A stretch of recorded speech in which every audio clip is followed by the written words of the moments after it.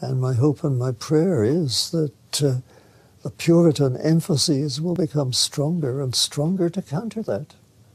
It is the gospel, after all, neither more nor less.